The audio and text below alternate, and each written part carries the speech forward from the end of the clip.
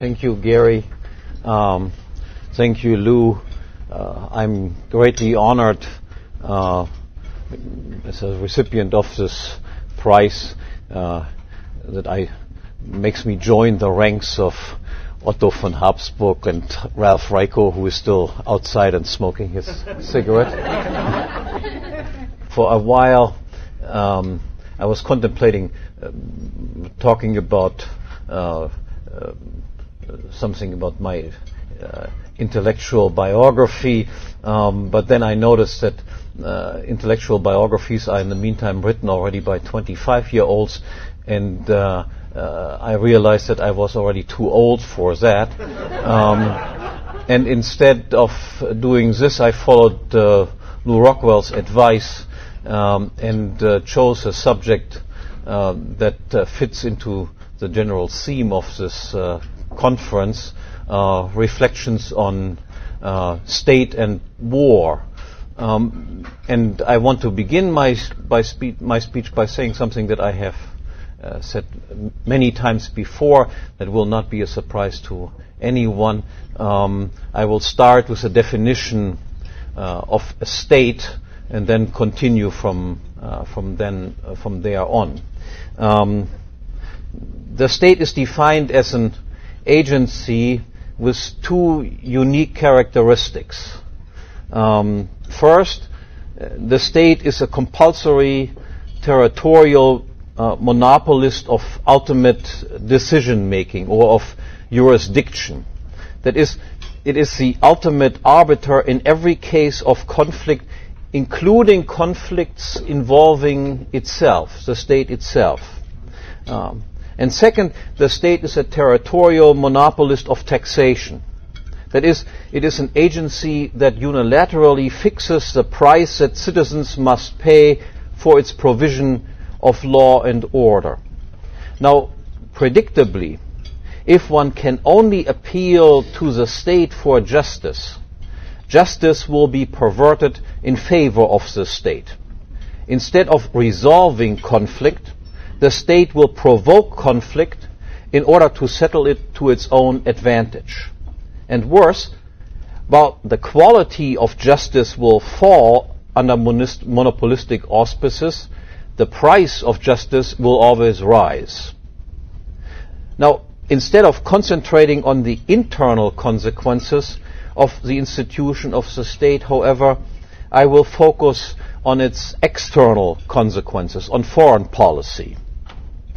For one, as an agency that perverts justice and imposes taxes, every state is threatened with exit. That is, especially its most productive in, uh, citizens may leave the territory of the state. No state likes this, of course. Um, instead of seeing the range of control and its tax base shrink, every state prefers that the tax base and the range of control is expanded. Yet that brings a state into conflict with other states. And unlike the competition between natural persons and institutions, the competition between states is an eliminative competition. That is, there can be only one monopolist of ultimate decision making and taxation in any given area. Consequently, the competition between states promotes a tendency toward political centralization and ultimately a single world state. Furthermore, as, as a tax-funded monopolist of ultimate decision making, states are aggressive institutions, whereas natural persons and institutions must bear the cost of aggression themselves, states can externalize this cost onto their taxpayers. Hence, state agents are prone to become provocateurs and aggressors, and the process of centralization can be expected to proceed by means of interstate war. Moreover, given that states must begin small, and assuming as a starting point a multitude of independent territorial units, something specific about the requirement of success can be stated. Victory or defeat in interstate warfare depends, of course, on many factors, but in the long run, the decisive factor is the relative amount of economic resources um, at a state's disposal. Now, in taxing and regulating, states do not contribute to the creation of economic wealth. However, state governments can influence the amount of existing wealth negatively. That is to say, the lower the tax and regulation burden imposed on the domestic economy, the larger will be the amount of wealth on which the state can draw in its conflicts. That is, states which tax and regulate their economies comparatively little, that is, liberal states in the European sense, tend to defeat and expand their territories at the expense of less liberal states. Now, this explains why Western Europe came to dominate the rest of the world instead of the other way around. And more specifically, it explains why it was first the Dutch, then the British, and finally the United States, which became the dominant imperial power. And why the United States, which is inter- internally one of the most liberal states, again in a good sense, um, has conducted the most aggressive foreign policy. While the former Soviet Union, for instance, which is entirely illiberal, repressive um, domestic policy, has engaged in a comparatively peaceful and cautious foreign policy. Because the United States knew that it could militarily beat any other state, and in contrast, the Soviet Union knew that it was bound to lose a military confrontation with any state of substantial size unless it could win within a few weeks. Now, historically, most states were monarchies, ruled by absolute or constitutional kings. And democratic states, including so-called parliamentary monarchies such as Britain, for instance, uh, headed by presidents were rare until the French Revolution, and these democracies have assumed historical importance only after World War I. Now, while all states must be expected to be aggressive, the incentive structure faced by traditional kings on the one hand and by modern presidents on the other is different enough to account for different kinds of war. Whereas kings viewed themselves as the private owner of the territory under their control, presidents consider themselves as temporary caretakers. The owner of a resource, of a country, um, is concerned about the current income that is to be derived from the resource and about the capital value embodied in a country. His interests are because of this long run, with a concern for the preservation of the capital values embodied in his country. In contrast, the caretaker of a resource is concerned about his current income and pays little or no attention to capital values. The empirical upshot of this different incentive structure is that monarchical wars tended to be moderate and conservative as compared to democratic warfare. Monarchical wars typically arose out of inheritance disputes. They were characterized by tangible territorial objectives and not by ideological motives. The public considered the war uh, the king's private affair to be executed with his own money and his own military forces. Moreover, as conflicts between different ruling families, kings felt compelled to recognize a distinction between combatants and non-combatants and target their war efforts exclusively against each other and their family estates. In contrast to the limited warfare of the Ancien regime, the era of democratic warfare, which began with the French Revolution and the Napoleonic Wars, which then continued during the 19th century with the American War of Southern Independence, and which reached its apex with World War I and World War II, this era has been the era of total war.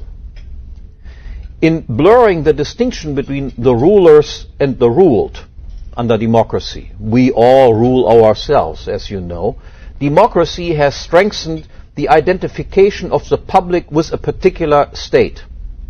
Rather than dynastic property disputes which could be resolved through conquest and occupation, democratic wars became ideological battles which could only be resolved through cultural, linguistic, or religious domination and, if necessary, extermination.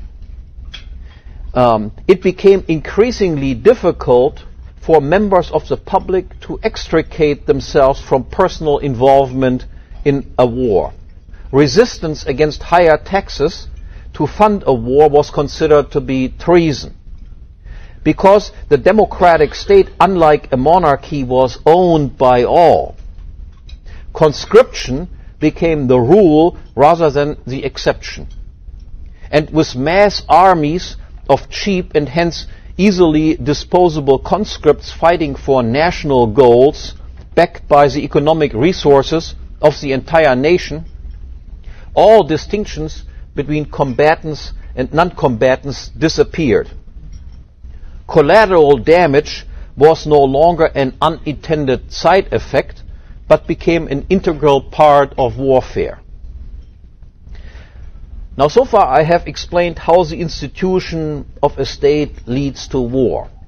Why, seemingly paradoxical, internally liberal states tend to be imperialist powers, and how the spirit of democracy has contributed to the decivilization in the conduct of war. More specifically, I have explained the rise of the United States to the rank of the world's foremost imperial power, and as a consequence of its transformation, the transformation of the United States from the beginnings as an aristocratic republic into a mass democracy, the role of the United States as an increasingly arrogant warmonger. Now, what appears to be standing in the way of peace and civilization then is above all the state and democracy, and specifically, of course, the world's model democracy, the United States. But ironically, uh, if not surprisingly, it is precisely the United States which, which claims that it is so the solution to the quest uh, for peace. The reason for this claim is the so-called doctrine of democratic peace, which goes back to the days of Woodrow Wilson and World War I and has been revived in recent years by George Bush and his neoconservative advisors. Now, this theory of democratic peace claims the following. First, democracies do not go to war against each other. Second, hence, in order to create lasting peace, the entire world must be made democratic. And as a largely unstated uh, corollary, three, today many states are not democratic and resist internal democratic reform. And fourth, hence, war must be waged on those states in order to convert them to democracy and thus create lasting peace. Now, I do not have the patience for a full critique of the theory. Um, but I shall provide a brief critique, at least of the theory's premise and of its final c- conclusion. First thing, do democracies not go to war against each other? Now, since almost no democracies existed before the 20th century, uh, the answer must obviously be found within the last hundred years or so. And in fact, the bulk of the evidence that is offered in favor of the thesis is that the countries of Western Europe have not gone to war against each other uh, in the post-World War II era. Likewise, in the Pacific region, Japan and South Korea have not warred against each other. Now, does this evidence prove the case? Um, now, the democratic peace theorists obviously think so. Um, as they see it, there are plenty of cases on which they can build their case. Germany did not war against France, Italy, and England. France did not war against Spain, Italy, and Belgium. And moreover, there are permutations involved also. Germany did not attack France, and France did not attack Germany. Um, thus, we have seemingly dozens of confirmations, and not a single counterexample for more than 60 years, but do we really have that? And the answer is, of course, no uh, what we actually have is no more than one single case. Uh, with the end of World War II, all of Western Europe and Japan and Korea in the Pacific region became part of the United States empire, as is indicated by the presence of United States troops practically everywhere in these countries.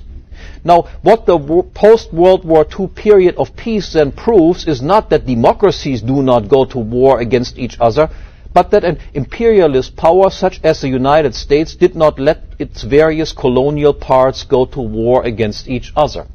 You also did not see, by the way, any wars breaking out between all those countries that were dominated by the Soviet Union as long as the Soviet Empire existed, from which we also do not draw the conclusion that communist dictatorships under Russian control do not go to war against each other. So because of that, we have to introduce something like this.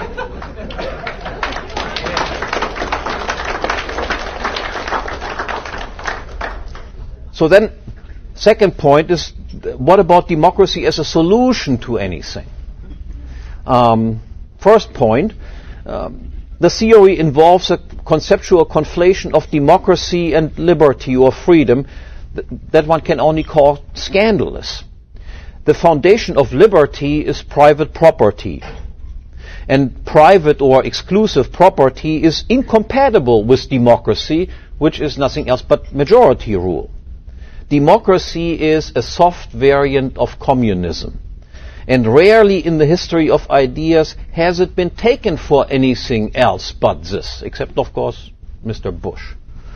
Um, second, the theory of democratic peace distinguishes only between democracy and non-democracy, which it all summarily labels as dictatorships.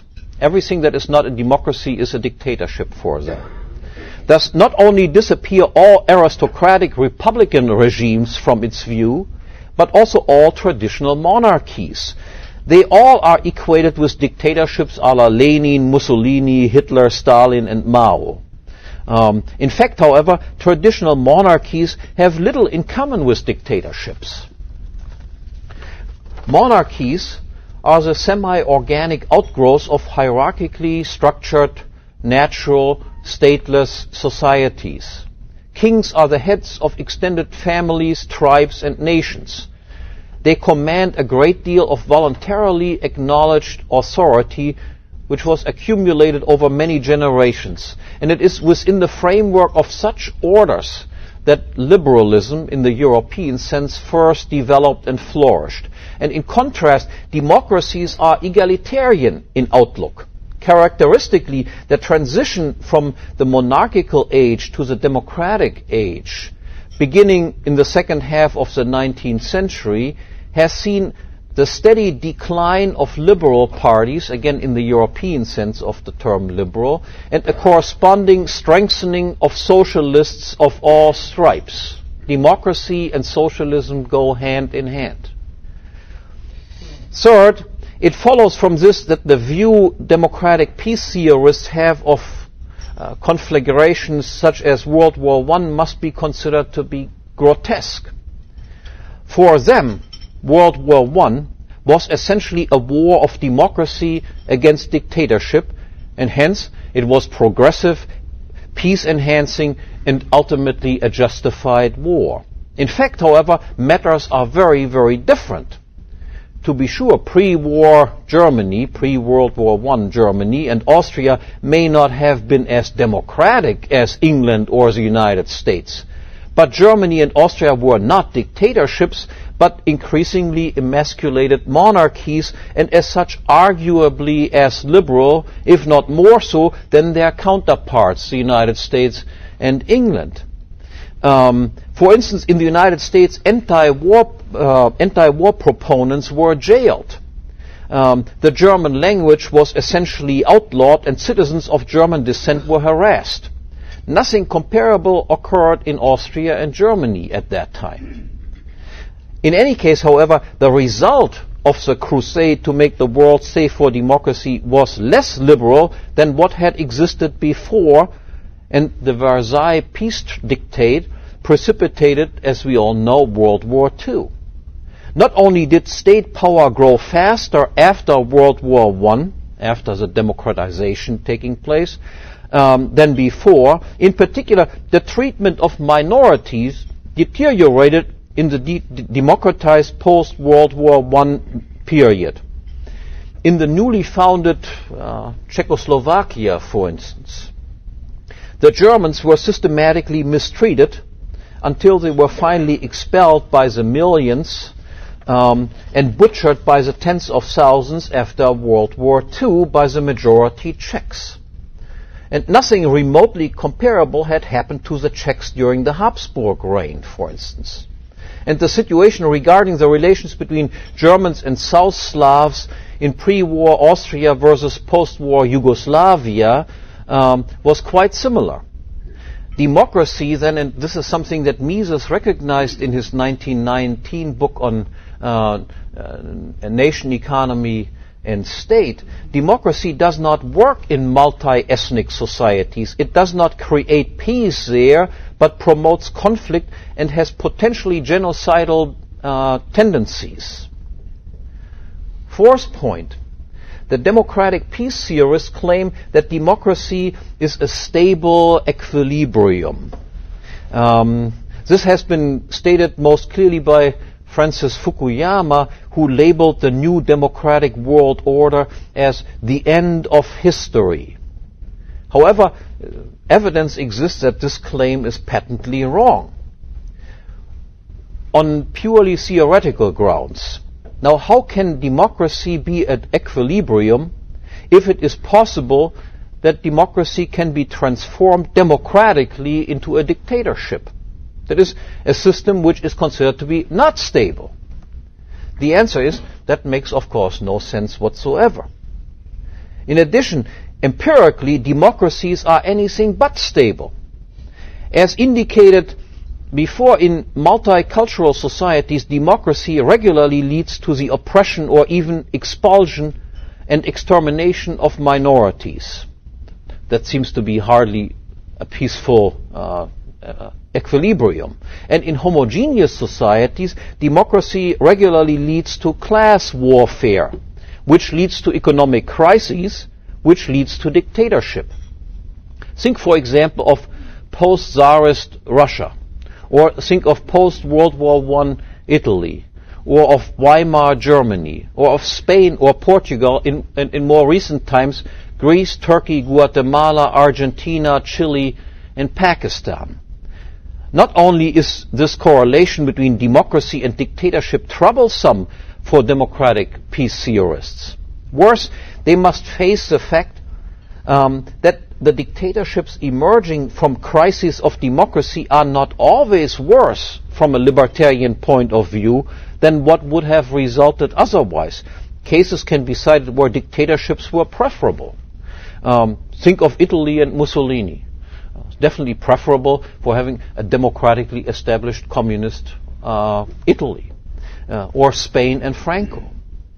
In addition, how is one to square the advocacy of democracy with the fact that dictators, quite unlike kings, who owe their rank to an accident of birth, are often favorites of the masses, and in this sense highly democratic.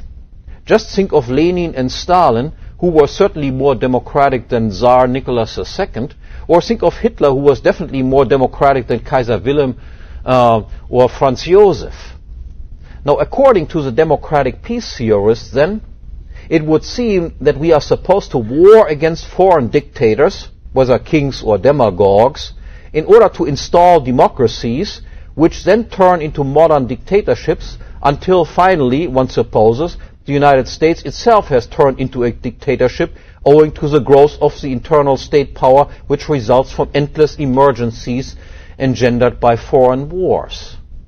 No better, I dare say, to heed the advice of Erich von Kühnelt-Leddihn, and instead of aiming to make the world safe for democracy, we try making it safe from democracy uh, everywhere, but most importantly, of course, in the United States.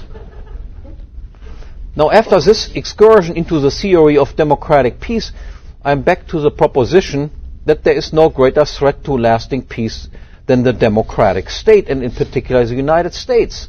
And the question thus is how to defend oneself against the United States.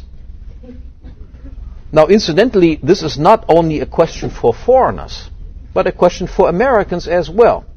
After all, the territory constituting the United States too is occupied territory, conquered by the United States government.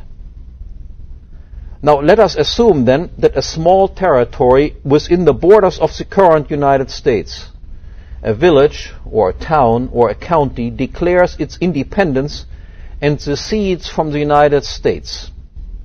What can and will the United States do in response to this? Now, it is certainly possible that the United States will invade the territory and crush the secessionists. Uh, this is what the French Republic did to the Vendée during the French Revolution. This is what the Union did to the Confederacy. And on a much smaller uh, scale, this is what the United States government did in Waco. But history also provides examples to the contrary. The Czechs and the Slovaks separated peacefully. Russia let Lithuania, Estonia, and Latvia go. The Slovenes were let go by Yugoslavia at that time. Singapore was often even expelled from previous union with Malaysia. Now, obviously, the relative population size matters in the decision to war or not to war. Likewise, it matters what resources are at the secessionists' disposal. Also, the geographical location can weigh in favor or against intervention. But this cannot be all. For how is one to explain, for instance, that France has not long ago conquered Monaco, or Germany Luxembourg, or Switzerland Liechtenstein, or Italy the Vatican City, uh, or the United States Costa Rica?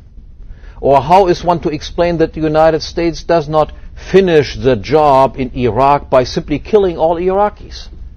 Surely, in terms of population, technology, and geography, such are manageable tasks. Now, the reason is not that French, German, Swiss, Italian, or United States state rulers have scruples against conquest, confiscation, and the imprisonment or killing of innocents. They do these things all the time on a daily basis, basis to their own population. Bush, for instance, has no compunction ordering to kill innocent Iraqis. He does so every day. Rather, what constrains the conduct of state rulers is public opinion. As La Boétie, Hume, Mises, Rothbard have explained, government power ultimately rests on opinion and not on brute force. Bush does not kill himself or put a gun to the head of those he orders to kill generals and soldiers follow his orders on their own. Nor can Bush force anyone to continue providing him with the funds needed for his aggression.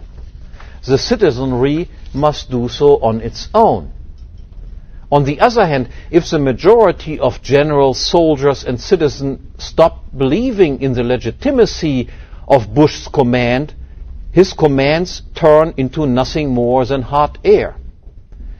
It is this need for legitimacy that explains why state governments itching to go to war must offer a reason. The public is not typically in favor of killing innocent bystanders for fun and profit.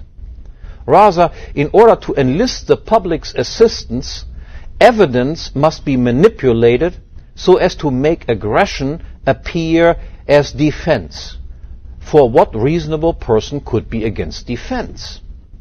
Now, and we know, of course, the catchwords in all of this. They are Fort Sumter, the USS Maine, the Lusitania, Pearl Harbor, and 9-11. It thus turns out that not even an overwhelming size advantage is decisive in determining the course of action. That David, Koresh and his followers in Waco could be brutally killed by the United States government was due to the fact that they could be portrayed as a bunch of crazy child molesters.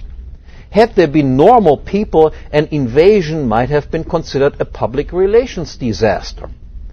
Moreover, regardless of whatever disadvantage that the secessionists have in terms of size, resources, or location, this can all be made up by a favorable international public opinion, especially in the internet age when the spread of news is almost instantaneous. Now, these considerations then bring me to my final points. The new secessionist country can be either another state or it can be a free, stateless society. And I want to argue that the likelihood of successful defense against the United States uh, is higher if the secessionists form a stateless society than if they opt for another smaller state.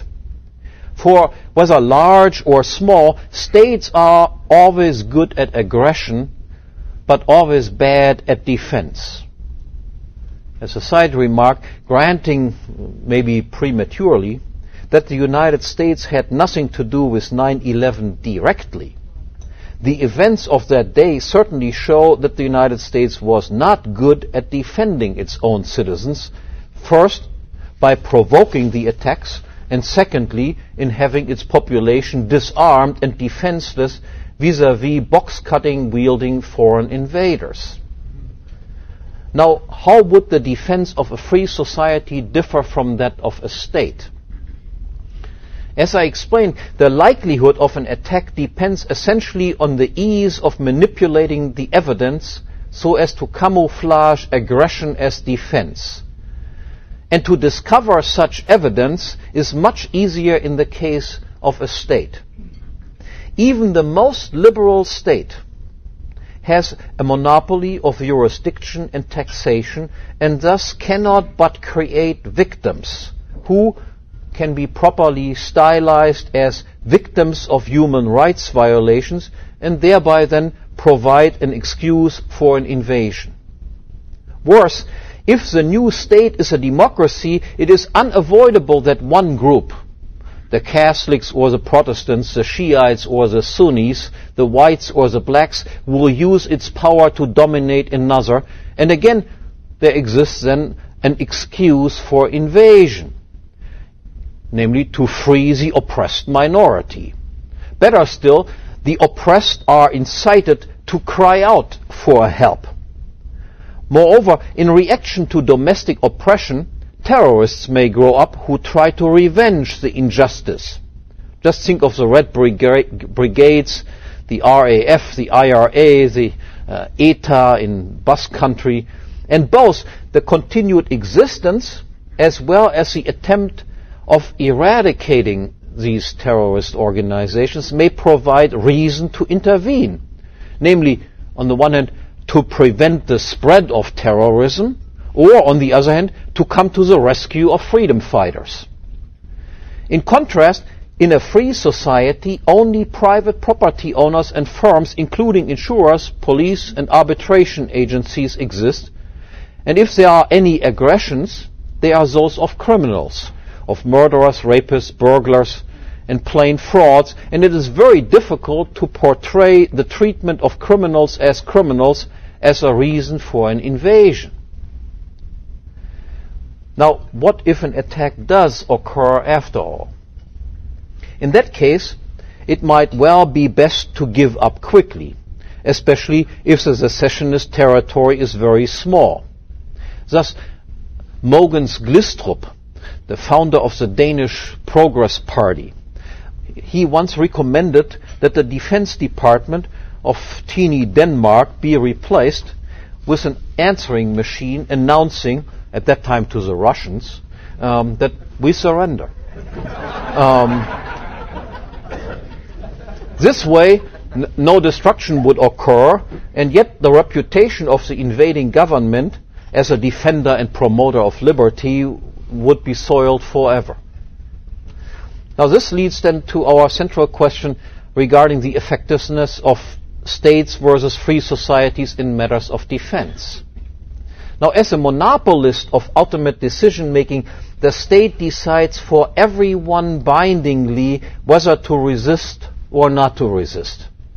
If to resist, whether in the form of civil disobedience, armed resistance, or some combination of these things.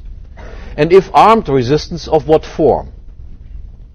If the state decides to put up no resistance, this may be a well-meaning decision, or it may be the result of bribes or threats by the invading state, but in any case, it will be contrary to the will of many who would have liked to resist and who are thus put in double jeopardy because as resistors they now disobey their, disobey their own state as well as the invader.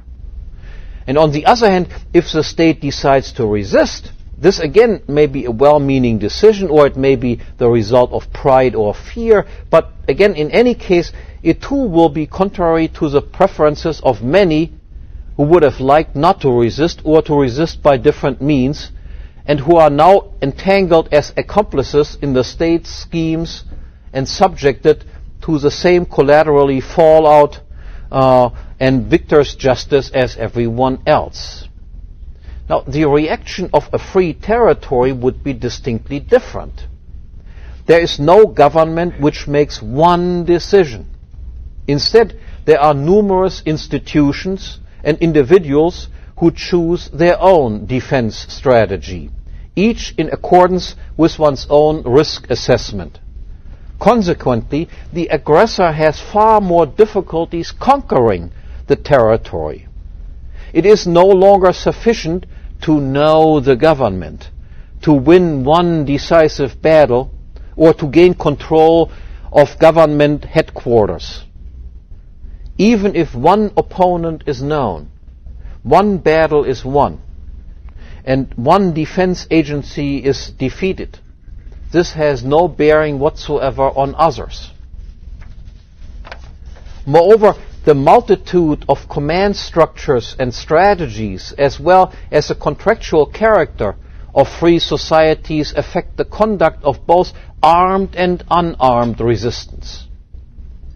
As for armed resistance, in state territories, the civilian population is typically unarmed and heavy reliance exists on regular tax and draft funded armies and conventional warfare. Hence, the defense force create enemies even among its own citizenry, which the aggressor then can use to its own advantage. And in any case, there is little to fear for the aggressor once the regular army is defeated. In contrast, the population of free territories is likely heavily armed and the fighting is done by irregular militias led by defense professionals and in the form of guerrilla or partisan warfare. All fighters are volunteers and all of their support, food, shelter, logistical help and so on is also voluntary. Hence, guerrillas must be extremely friendly to their own population but precisely this, their entirely defensive character and their near unanimous support in public opinion can render them nearly invincible, even by numerically far superior invading armies. History provides numerous examples for this. Napoleon's defeat in Spain against guerrillas fighting him. France's defeat in Algeria, for instance, the United States' defeat in Vietnam, and Israel's defeat in South Lebanon. This consideration leads immediately to the other form of defense, namely civil disobedience. Provided only that the secessionists have the will to be free, the effectiveness of a strategy of civil disobedience can hardly be overestimated. Recall that power does not rest alone on brute force, but must rely on opinion. The conquerors cannot put one man next to each secessionist and force him to obey their orders. The secessionists must obey by their own free will. However, if they do not, the conquerors will fail. Most importantly, civil disobedience can occur in many forms and degrees. It can range from ostentatious acts of defiance to entirely unobtrusive ways, thus allowing almost everyone to participate in the defense effort. The courageous and the timid, the young and the old, leaders and followers. One may hide armed fighters or not hinder them. One may publicly refuse to obey certain laws or evade and ignore them. One may engage in sabotage, obstruction, negligence, or simply display a lack of diligence. One may openly scoff at orders or comply only incompletely. Tax payments may be refused or evaded. There may be demonstrations, sit-ins, boycotts, work stoppages, or plain slacking off. The conquerors may be maltreated, molested, ridiculed, laughed at, or simply ostracized and never assisted in anything. In any case, all of this contributes to the very same result, namely to render the conquerors powerless, to make them despair and finally resign and withdraw. Now, as is often the case, the first step in the anti-imperialist, anti-democratic struggle is always the most difficult one. Indeed, the difficulties are enormous. I do not want to just minimize this. But once the first step has been successfully taken, however, things get successively easier. Once the number of secessionist territories has reached a critical mass, and every success in one location will promote imitation in other localities, then the difficulties of crushing the secessionists will increase exponentially. In fact, the more time passes, the greater will be the comparative economic and technological advantage of free territories.